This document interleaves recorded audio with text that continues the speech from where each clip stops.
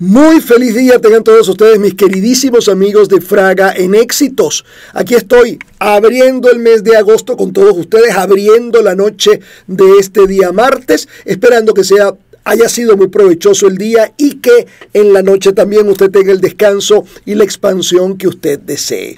Por lo tanto, bienvenidos. Tengo un gran tema para ustedes para abrir el mes de agosto, pero un maravilloso tema, lo que yo llamo un temazo porque vamos a hablar de todos siempre estamos en falta. Todos siempre estamos en falta. ¿Ok? Vamos a hablar de este tema porque este tema tiene mucho que ver con aquellos que dicen te lo he dado todo, te lo voy a dar todo, pero es que conmigo no te va a faltar nada. Los todos y los nada vienen ahora a ponerse en tela de juicio con este tema. Por lo tanto, atención por favor porque ya venimos con él. Antes mis redes sociales. En Instagram, Twitter o lo que era Twitter y Threads es arroba Fraga Carlos.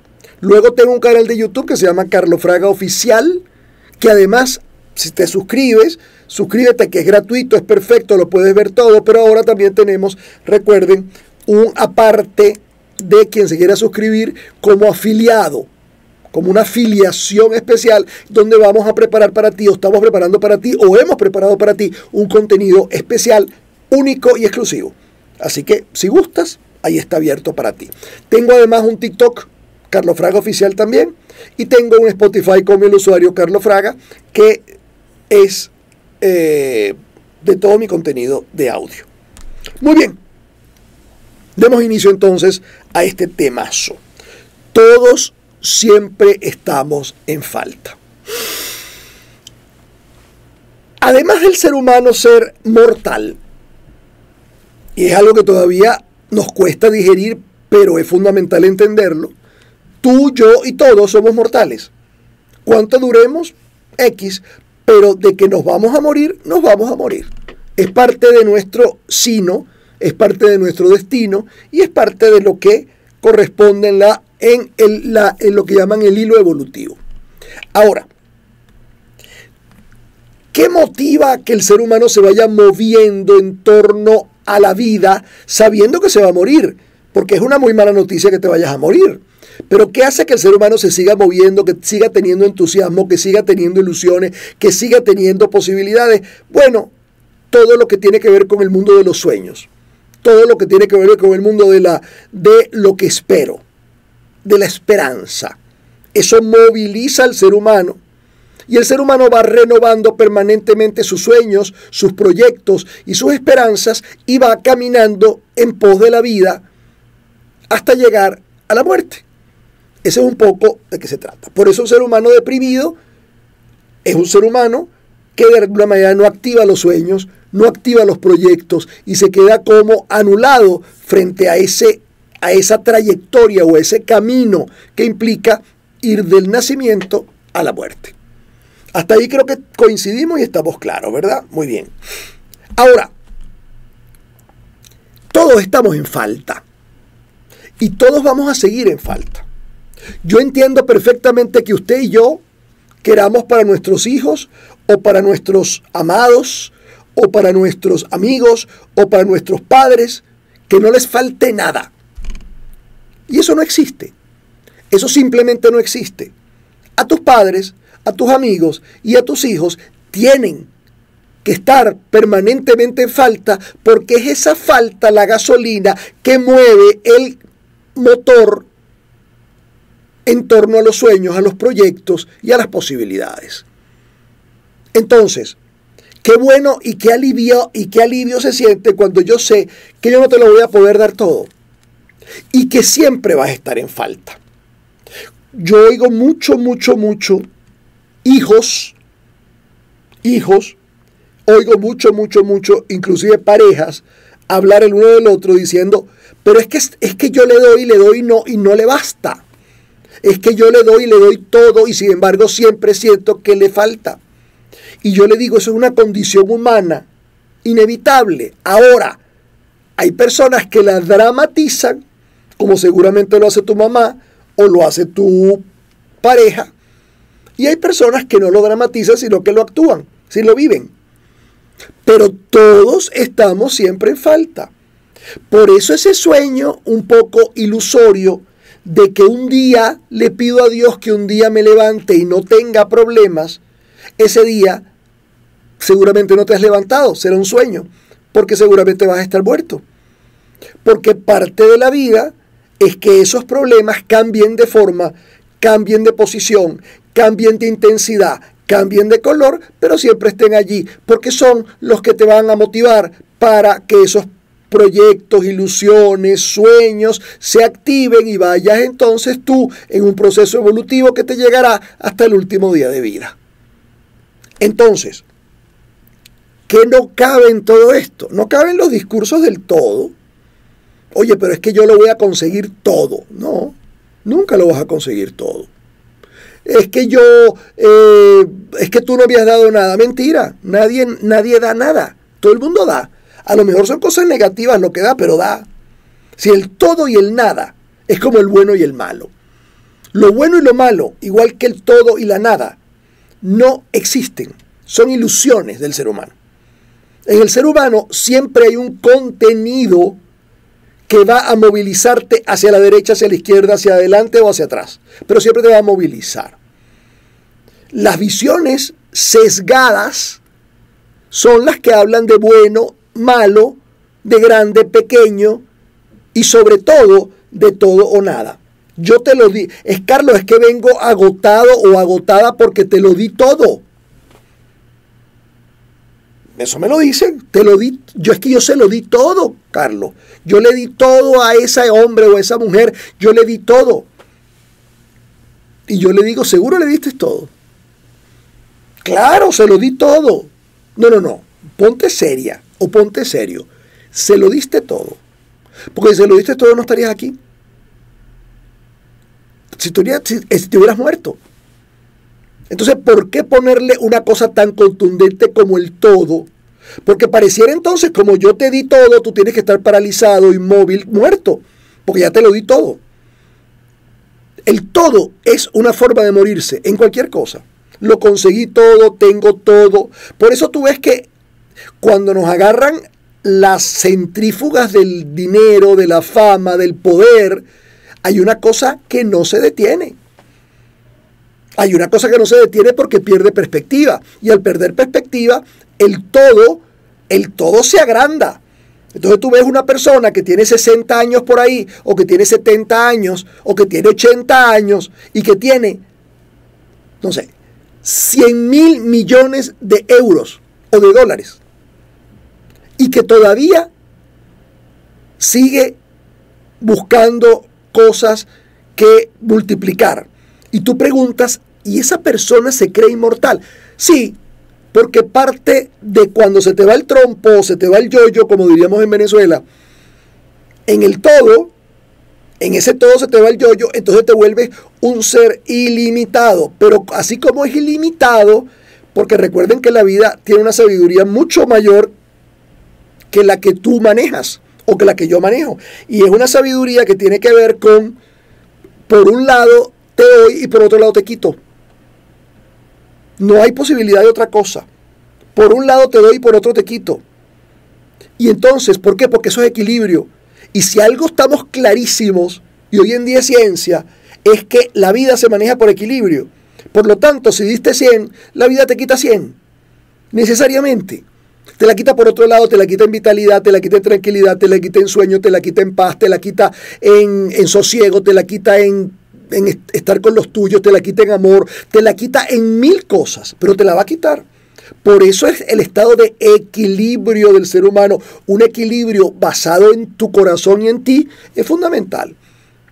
Es fundamental, porque si no te llevan esta centrífuga de la fama, ahí tú ves personas que entran, por ejemplo, en los las bandas de, narcotráfico y tú dices, pero ¿cómo una persona se puede meter en una banda de narcotráfico? Entonces tú le contestas, pero ¿cómo no? ¿Cómo, cómo una persona que siente que nunca ha tenido nada, ya vamos a hablar de eso, llega a este grupo delictivo y le ofrece todo, también ilusión, ¿cómo va a decir que no? Vamos a la pausa y regresamos enseguida. Continuamos, Fraga en éxito, amigos. Hoy hablando, abriendo agosto. Gracias por estar allí Todos siempre estamos en falta. Vamos a poner este, el mundo de las tentaciones se mueve mucho dentro de esto.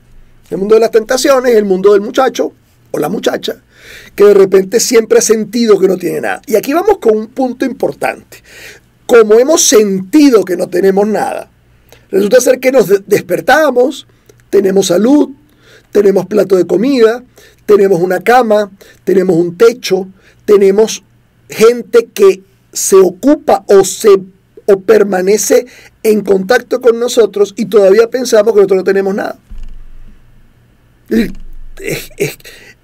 Los niveles de percepción, programa, programa que hicimos ayer, los problemas de percepción de uno son terribles. Entonces llega este muchacho o esta muchacha que de repente viene de un contexto humilde y viene por supuesto embriagado de las, de las redes sociales y de la cantidad de lujos que las redes sociales se ven y llega y alguien le plantea, mira, esto es muy fácil, esto es facilito.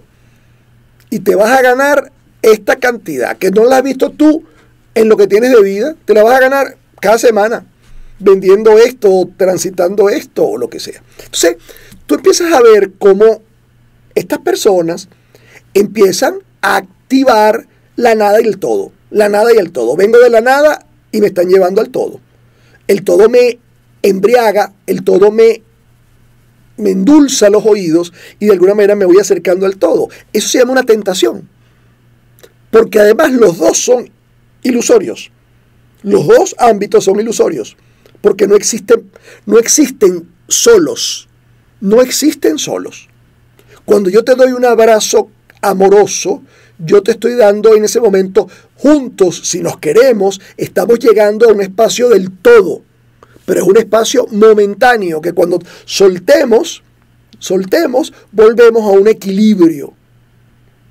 ¿Me entienden lo que quiero decir? Y ese equilibrio te va a mantener en un espacio amoroso conmigo. Esto es fundamental. Entonces,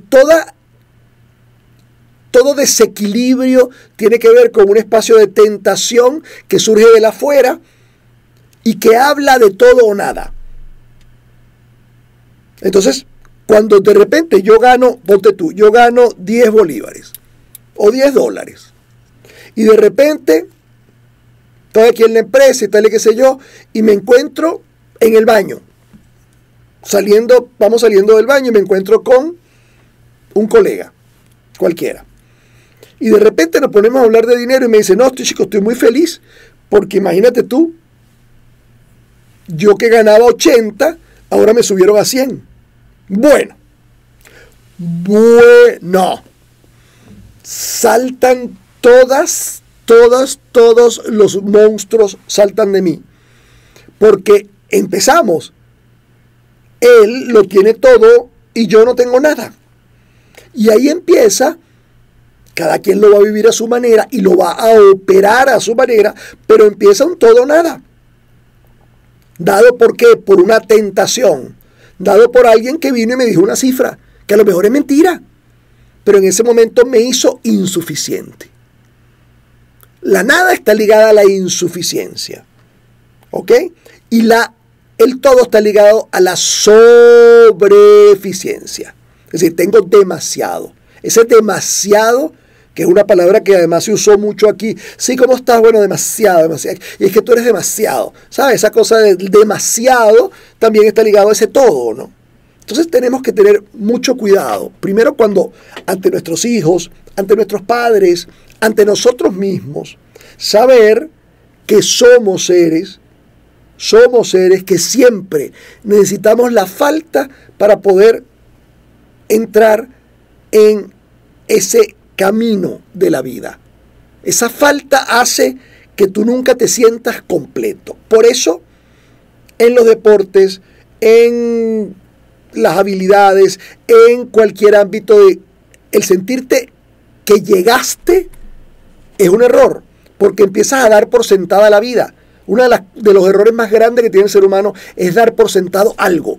Porque en la vida, la vida tiene una magia y una cosa tan maravillosa que tiene que ver con que nada está, dado por sentado. Nada es absolutamente seguro. Lo único seguro es la muerte. Lo único que te dan a ti como seguro es la muerte. Todo lo demás es incierto. Y esa incertidumbre te pone en la falta.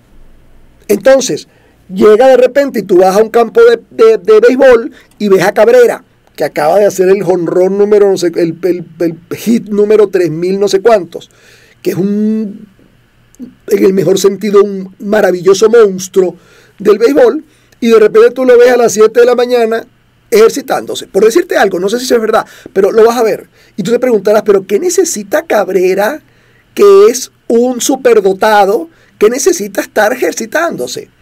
Porque para él, él, de alguna manera, hay una parte en falta que lo moviliza. Porque si él se considerara listo y en todo, él se quedaría en su casa hasta las 11 de la mañana, a las 11 se daría un baño y se iría para el dogado, al juego, no sé si esa es la hora, pero al, dogado, tal que sé yo, se metería en la, en la bañera de hielo y ya. No, no, no, no, no.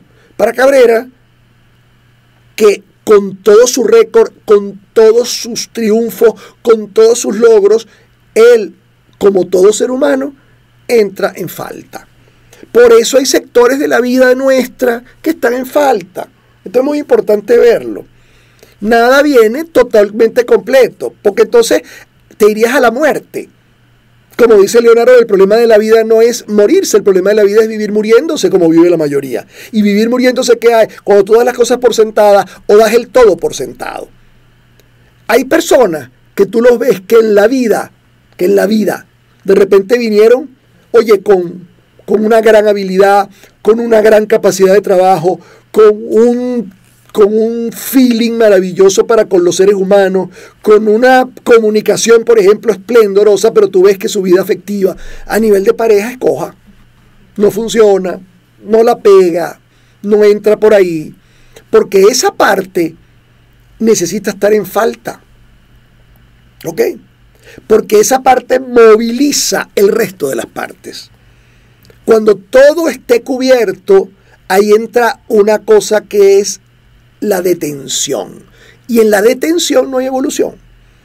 Entonces, por eso tú ves, cuando se te refuerza una parte, la otra se debilita. Entonces tú de repente refuerzas la parte familia y la parte trabajo empieza a debilitarse. Y empiezas a reforzar la parte trabajo y se te debilita la parte sexual. Y entonces repotencia la parte sexual y se debilita la parte social. Y de repente repotencia la parte social y se debilita la parte con mamá y papá. Y así sucesivamente, porque eso es vivir. Vivir tiene que ver con el trabajo. Por eso cuando yo digo vivir no es una lucha. Sáquese eso de la cabeza. Eso es como tener una cosa terrible el metido en la cabeza. Sáquese de la cabeza. No es una lucha.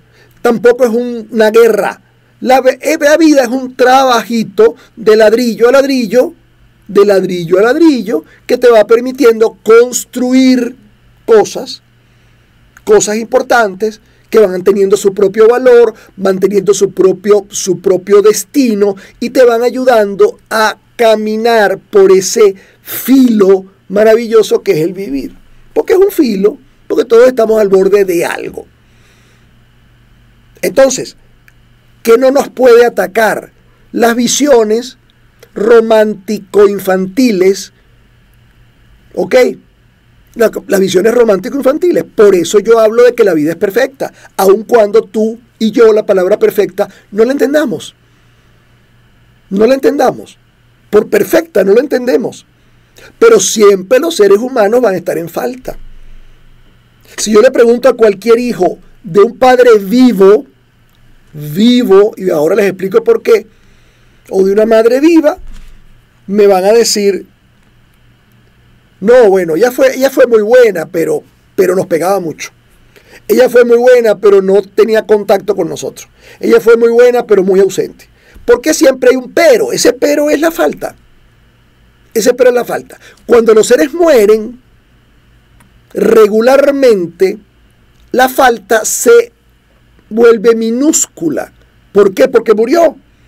Y al morir entra como en una dimensión donde ya como no, las faltas no pueden ser recuperadas, nos vamos olvidando de la falta y de alguna manera valoramos lo valorable, lo que existió de verdad.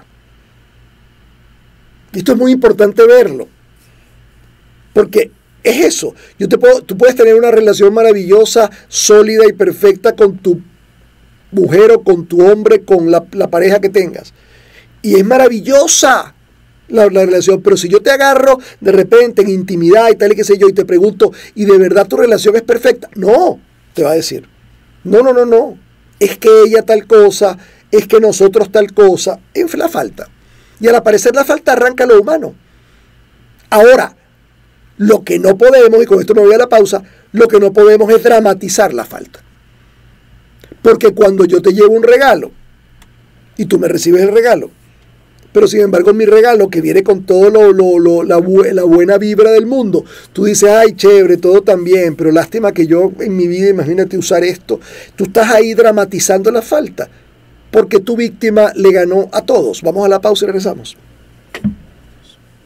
Fraga en éxitos, amigos abriendo el mes de agosto con el tema Todos siempre estamos en falta. Y estaremos en falta mientras estemos vivos. Porque definitivamente eso. Fíjense que las personas que hacen un camino espiritual o que entran en un, en un sendero espiritual, que puede implicar inclusive recluirse en un monasterio, recluirse en una organización X. Tú ves cómo allí entra la falta. Entonces, ¿cómo tengo la paz, tengo la, tengo la serenidad, he conseguido todo, pero sin embargo hay una parte de mí que no consigue todavía hablar con Dios, por decirte algo, escuchar a Dios, eh, conectarme con el todo. ¿Sabes? Y todo esto habla de que la evolución no para. Estés en la derecha, estés en la izquierda, estés en el centro, estés arriba, estés abajo, la evolución mientras estés vivo no puede parar y quien la detona es la falta.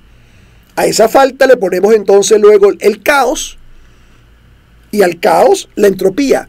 Y ahí entonces vamos a ver, ya eso es otro tema, pero ahí vamos a ver cómo se da. Pero siempre vamos a estar en falta. Por lo tanto, aprenda usted a poner los ojos y a conectarse con lo que hay. No se conecte con lo que no hay, porque al conectarse con lo que no hay, usted tiende a dramatizar la falta que va a estar allí y entonces se queda con su atención, que es su mayor poder, en la parte que falta.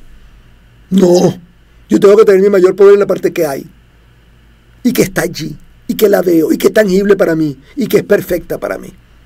Ahí está el bienestar de un ser humano. Ahí está la gratitud de un ser humano. Ahí está la grandeza de un ser humano. En el que yo me creo, me asiento y me hago en siempre en lo que hay, no en lo que falta. ¿Ok? Vamos a ver las preguntas de ustedes. Estoy en el camino espiritual, pero mi esposo no. Es dramático, víctima, todo gira a su alrededor. ¿Qué hacer con un esposo dramático? Bueno, ese es tu pinche tirano. Está bien, perfecto. Él no es ni peor ni mejor que tú. Él de repente es la prueba o, el, o la herramienta que necesita la vida para que tú realmente entres de verdad en un camino espiritual. Porque cuando se entra en un camino espiritual, y se lo voy a explicar a la gente, les prometo un programa sobre el camino espiritual. Se los prometo. Pero fíjense ustedes, para mí, esto es muy particular, para mí entrar en un camino espiritual es desarrollar, desarrollarte de tal manera que cada día el externo pese menos en tu vida, tenga menos influencia. Fíjate tú, mira tú lo que tú me estás preguntando y lo que yo te estoy diciendo. Para mí, entrar en un sendero espiritual es desarrollar dentro de mí un yo suficientemente sólido para que el afuera no determine cómo yo me sienta adentro. Para mí eso es un camino espiritual. Ese trabajo. Y tu marido, tu marido es exactamente la construcción que te pone enfrente a tu casa. ¿Ah? Supongo que tu casa es una casa maravillosa la naturaleza divina y de pronto enfrente te monta un edificio. Y eso va a ser un año de trabajo, tucu, tucu, tucu, tucu, martillo, clavo, la otra, mezcladora, motores, gente gritando. Bueno, tú tienes que, ¿qué vas a hacer? ¿Vas a reclamar? ¿A quién le vas a reclamar? ¿Cómo vas a parar la construcción? Entonces tú te vas construyendo un ser que cada día va aislando esos sonidos hasta el punto de que tú no te perturbas por lo que está pasando afuera. Trabajo, complejo, pero trabajo. Tu marido es tu pinche tirano. Léete al doctor Ruiz para que vea lo que es el pinche tirano. Ya lo hemos hablado en otros programas. Ok, seguimos. ¿Puede la búsqueda de un todo ilusionario afectar una relación de pareja? Claro, claro. Porque si yo vivo un todo ilusionario, hay una cosa de mí que se vuelve absolutamente insatisfecha o insatisfecho. Y esa insatisfacción hace que la otra persona se agote. Se agota. Claro que afecta a la relación de pareja. Entonces yo creo que eso hay que, eso se llama reencuadrar. La pareja siempre tiene que reencuadrar sus objetivos de bienestar. ¿Cuál es tu objetivo de bienestar? ¿Cuál es el mío? Para poder entrar en un punto medio donde los dos estemos complacidos. Porque si no, esto se va al traste. Acá en Francia tengo mi esposo, aprendo el idioma y busco crecer. Pero me falta mi Venezuela amada, mi familia y mis amigos. Bueno, mi amor, eso es producto de la decisión que usted tomó. Usted tomó la decisión de irse válida. yo no le estoy criticando por eso. Te estoy diciendo que es absolutamente válida, pero es una decisión. Esa decisión te puso en una falta. Y esa falta es Venezuela. Es tu patria. Todos los extranjeros de diferentes maneras y en diferentes escalas tienen esta falta. La falta de mi patria. Mi suelo, mi olor, mi tierra, mi gente, sí. Pero tu decisión te llevó a otras tierras con un esposo maravilloso, aprendiendo el idioma, creciendo, pero sin tu patria. Si estuvieras en Venezuela, estaría en tu patria, tú rico, todo rico, pero a lo mejor no tendrías el esposo, no tendrías el idioma y no tendrías el crecimiento. Estarías en falta también. Entonces, asumir que ese es el vivir. Todos en la vida estamos en falta de algo. Todos.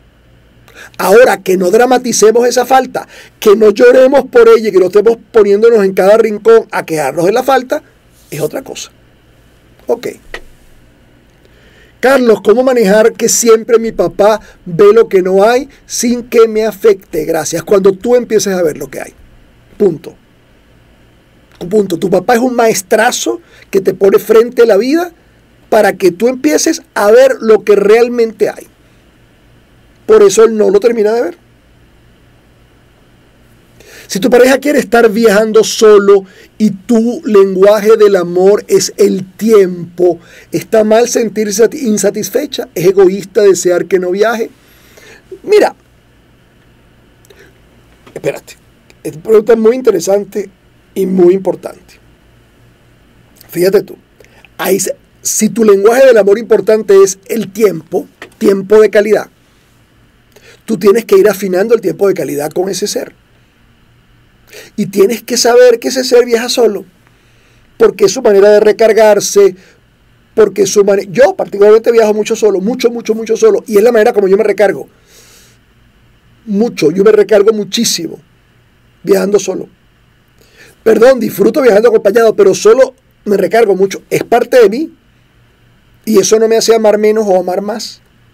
Pero hay que conciliar ahora porque entonces el tiempo de calidad va a ser cuando Él esté contigo, no cuando deje de viajar solo. Porque yo no puedo pensar que yo voy a estar completo o satisfecho solo cuando alguien no cumpla su sueño. Porque eso no solo es egoísta, sino que es totalmente perpetrador de la felicidad de la pareja y de la libertad de la pareja. Así que te toca un trabajito importante. Entonces está bien que se converse. A mí me encantaría viajar contigo y de repente podemos negociar que viajemos un poquito más juntos. Está bien. Y eso no tiene nada de malo. Y lo podemos ir consiguiendo en el tiempo. Pero entienda que, que ahí hay razones más profundas y más de fondo que hacen que él viaje solo y que hacen que tú lo extrañes. Ahora, no te sientas insatisfecha. No. Asume que es una falta de punto. Mírate en el espejo. Mírense todos los que estamos aquí en el espejo. Con una mirada juguetona. Estamos hablando de una mirada, de una mirada del Miss Universo, una mirada juguetona, desnudos en el espejo. Y seguro que tú vas a encontrar, por muy cuerpo bello que tengas, formadito, rico, divino, todo lo que tú quieras, por mucho que tú tengas eso, va a haber una parte de ti que te pone en falta. Ay, si yo tuviera más cadera, o menos cadera, o más pompi, o más seno, o más esto, o más brazo, o fuera más alto, o fuera más... Y tú ves que son unos cuerpazos quienes están hablando impresionantes. Pero ahí estamos, o menos o más, siempre estamos. Así que, amigos, con esto me despido. Amigos, aquí, hoy, que se inicia el mes de agosto, aquí. Se les quiere mucho, se les quiere bien y se les quiere siempre. Hasta la próxima sonrisa, que espero que sea en el próximo segundo pero conmigo será en la próxima emisión de Fraga en Éxitos. Muchas gracias, lo vemos.